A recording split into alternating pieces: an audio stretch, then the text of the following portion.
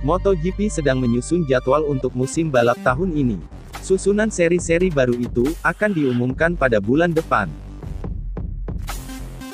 Karena pandemi virus, jadwal MotoGP menjadi kacau balau. Sudah ada empat seri yang dibatalkan, beberapa seri lain mesti dijadwal ulang. Balapan tahun ini setidaknya akan dimulai dari MotoGP Republik Ceko. Dalam daftar sementara, balapan itu digelar pada tanggal 9 Agustus. Dorna Carmelo Espeleta belum mau memberi tanggal pasti kapan MotoGP akan dimulai lagi. Dia masih melakukan pertimbangan matang terkait perkembangan wabah COVID-19. Mau kami bisa menggelarnya pada awal Juni, bahkan lebih cepat kalau ada kesempatan, kata Espeleta di GP1.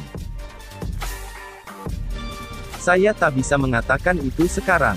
Saya tak berpikir bahwa GP di Red Bull Ring akan menjadi balapan pertama kami, kami akan senang tetap menjaga itu pada tanggal 16 Agustus dan start lebih awal, dia menambahkan.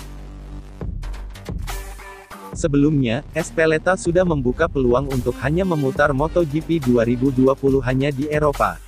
Dia menegaskan belum ada keputusan resmi mengenai hal itu.